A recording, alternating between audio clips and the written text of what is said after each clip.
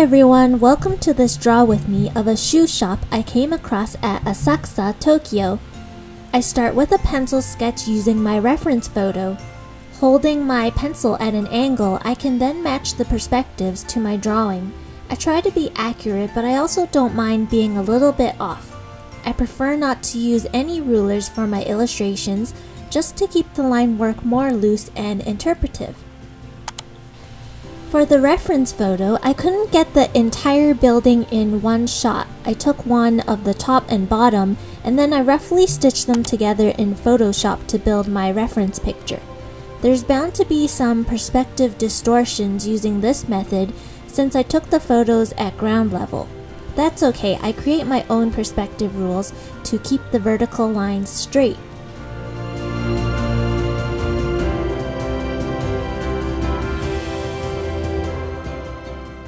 When I start with outlining, I tend to draw in the objects in the foreground first. So in this illustration, it was the shoe boxes and shop details on the ground floor.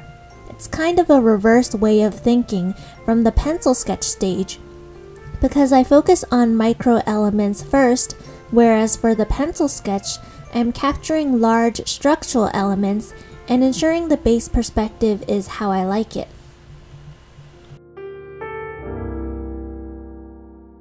Sometimes I still switch between pencil and colored pencil when I want a bit more framework to work off of.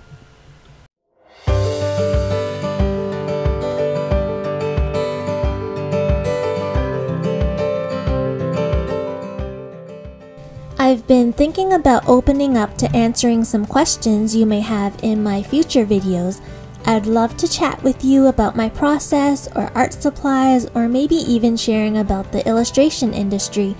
I don't have a talking video about how I became an illustrator yet, but you can check out a previous subtitled one if you're interested in that story. Please let me know if you're curious about anything in the comments.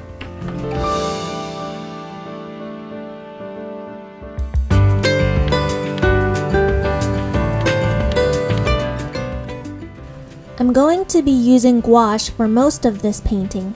I think gouache will best convey the texture and solidity of the concrete buildings in the scene. I am using a synthetic sable brush by Pentel called Neo Sable. The most common color I use in gouache is white. With watercolors you can pick up less pigment or dilute with water for a lighter color, but for gouache if I want to maintain a thicker consistency and higher opacity, then I will use white as my mixing color. Actually, there are many kinds of white gouache paints on the market. I'm still learning about the subtle differences, but I tend to pick zinc white when I want a slightly warmer tone, permanent white when I want a cool and strong pure tone, and I believe mixing white is almost a bit transparent.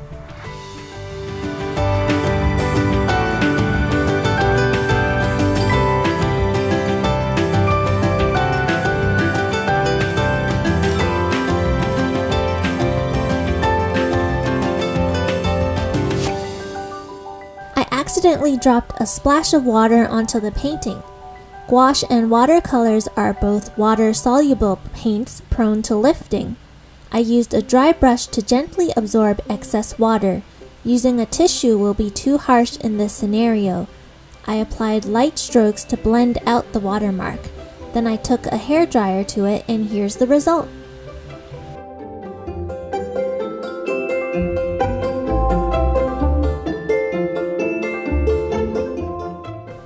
Painting windows is always a fun part for me.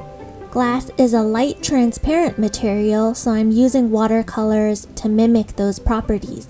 I use the wet on wet technique, applying a base of water first so that the pigments will bleed and blend smoothly. Within the area of the window, I map out light and dark areas. I never use a pure black and opt for dark mixes instead because it introduces reflected colors in the interior. Sometimes the paper is too wet and there's too much blending, so I wait a bit and continue.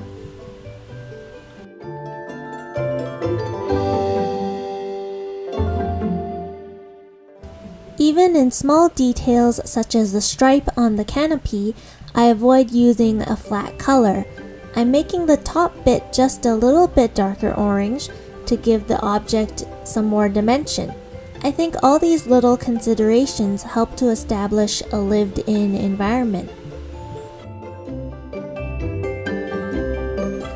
I'm treating this illustration as a spot illustration, meaning that it doesn't have a rendered background or ground plane. It is a kind of shape floating in white space, although the geometries of the buildings does situate and give weight in space. I wanted the focus to be on the interesting intersections of building elements, so it was less important to show the sky and ground. I like how the edges of the composition are brought to attention. It really highlights the signage, lights, and canopy sticking out. I think this composition will adapt really well to a cover page illustration for my future Japan travelogue book.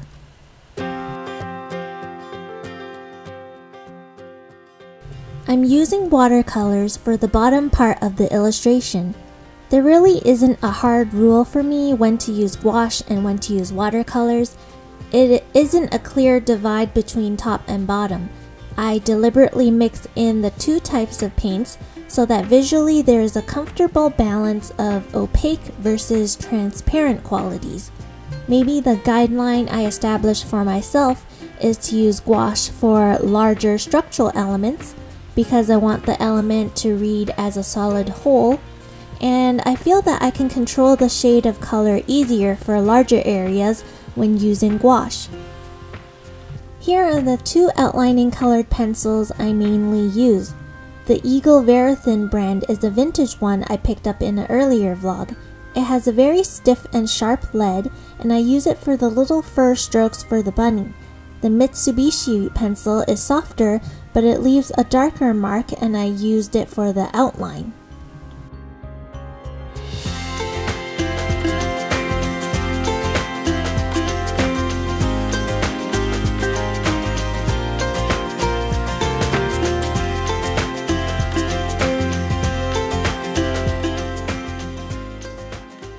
When I'm so in the zone for a painting, sometimes I forget I have access to art materials beyond just paints.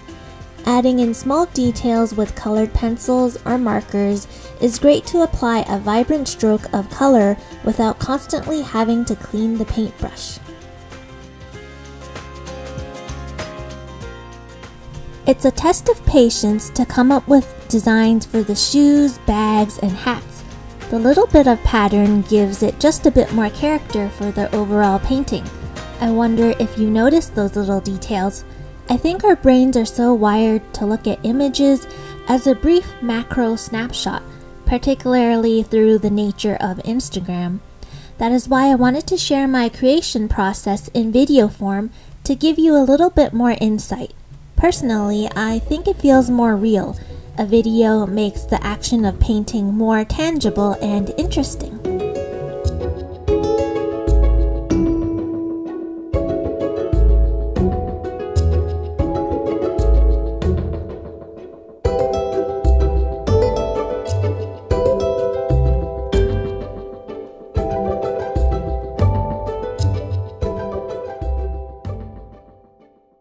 And here is the completed painting.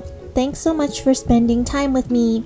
If you're interested in this style of illustration, I have a 64 page art book featuring nostalgic streetscapes of Hong Kong available in my online shop. I hope you're having a cozy fall season. I'm constantly hugging a hot pack to stay warm, but until then, I'll see you for the next video. Bye!